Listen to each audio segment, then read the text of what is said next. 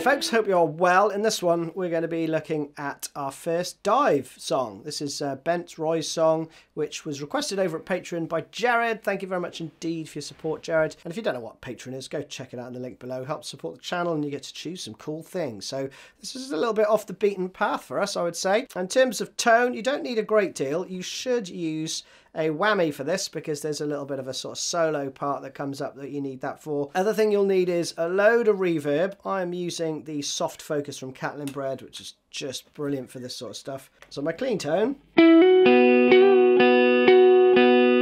Then with the soft focus.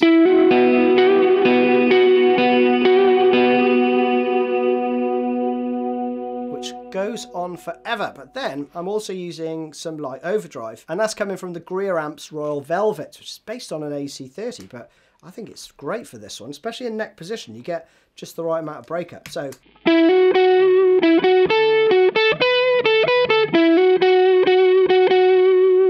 So hear that kind of oh, nice sort of wooliness, but then with the reverb.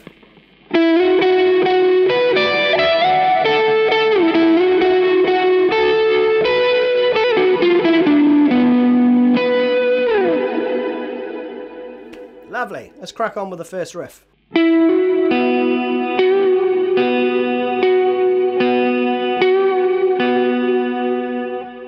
And just repeats around, okay? So that is a hammer on, 9th fret to the 11th on the G. And then you're going to play the open B.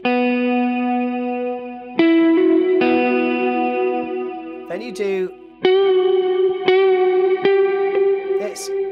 might be a half step bend, but it's quite a quick, you know, little little flick of the wrist there.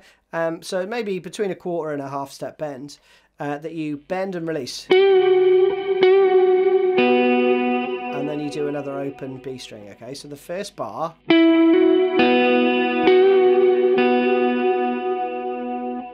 Okay, second bar just goes. Not terribly difficult, and to speed. And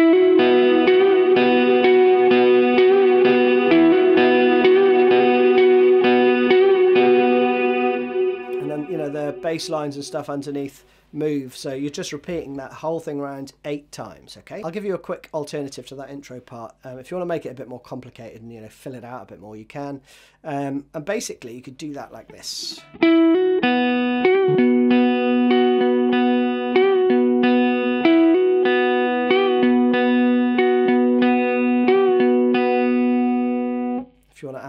Basically, that's the same note, right? That is a B on the ninth fret on the D string. Exactly the same as the open B there, right? So you're basically playing. So on the three and and the one and, you would add that, right? So you've got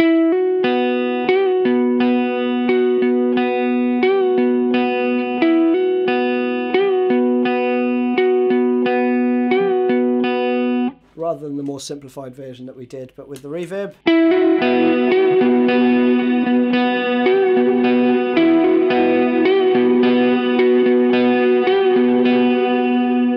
Then for the next riff, add a bit of overdrive, and then you're going to play this.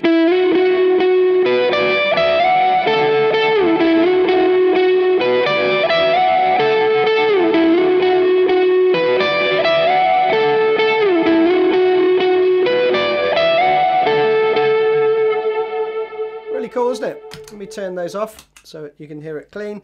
Again, fairly straightforward. It's not too quick, um, but you know, what's your fingering basically? So start with your second finger, sliding from the 9th to the 11th on the G. And you're going to go to like a D minor shape, right? So, third finger here, first finger here. Okay, then third finger on the 12th fret, slide up to the 14th fret and then that's my second finger coming over the top there. So we've got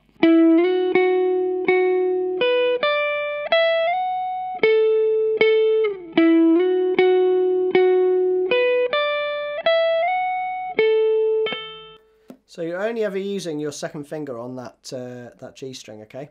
So one more time.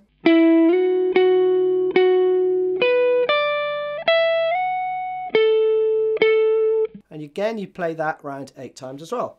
Then we have this part. So I'm going to do the sort of solo-y bit in two sections because there's there's some part with the trem, which goes on about eight times.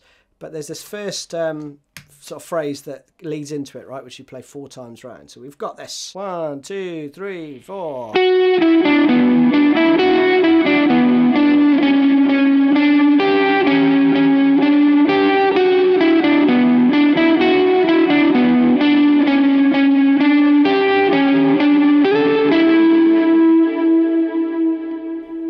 Really nice, isn't it? So, and I'm using the same overdriven tone there for this part. So let me clean it up and we'll go through that. So the first two bars are just a repeating pattern.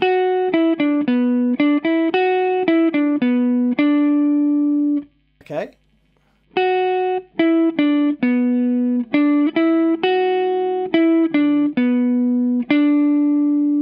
Pretty straightforward. I'm not going to call out all the notes because it's pretty self-explanatory with the tab. Slide your first finger down one fret.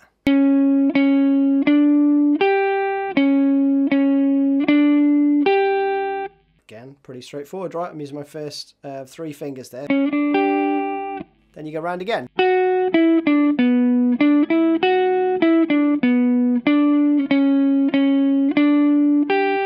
Slight variation the second time. So you're going to go six, seven. With your third finger, slide up to the 10th fret. And then your second finger hits the ninth fret there. And you go around that again, okay? Then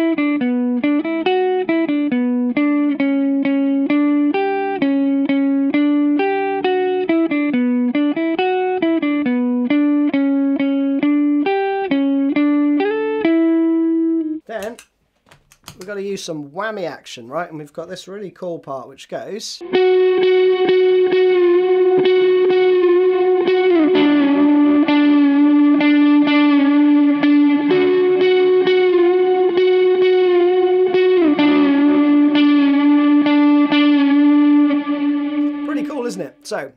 You play three normal.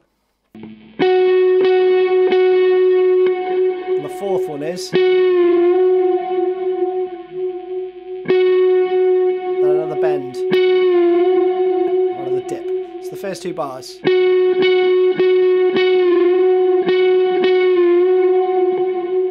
Okay, then you go.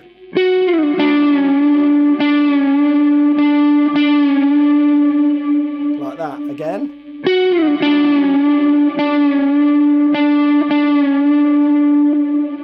That's the phrase, but then again you're starting it now on the seventh fret.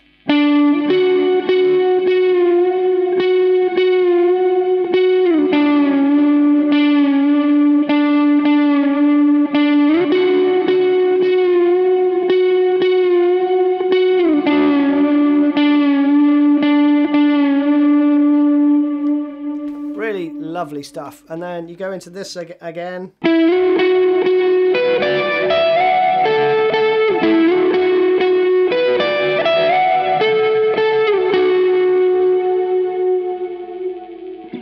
You can do some, you know, whammy to, to end. Um, that part actually goes over the top, I think, of the, um, you know, the the sort of solo-y part there. And that is it. You're done. Hope you enjoyed that one. Jared, good suggestion. Cheers all.